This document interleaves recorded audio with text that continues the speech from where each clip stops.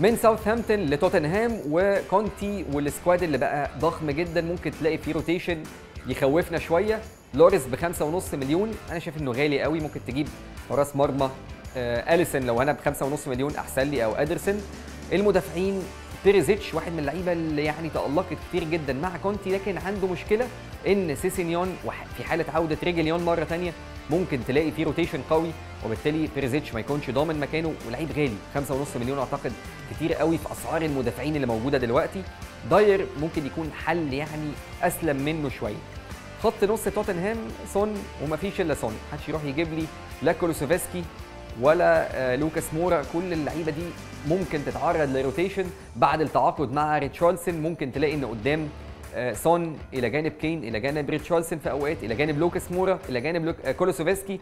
كل اللعيبة دي مش مضمونة وبالتالي توتنهام قدام يعني سون وقدام كين محدش يجود ويفكر في أي حاجة تانية غير الاثنين دول.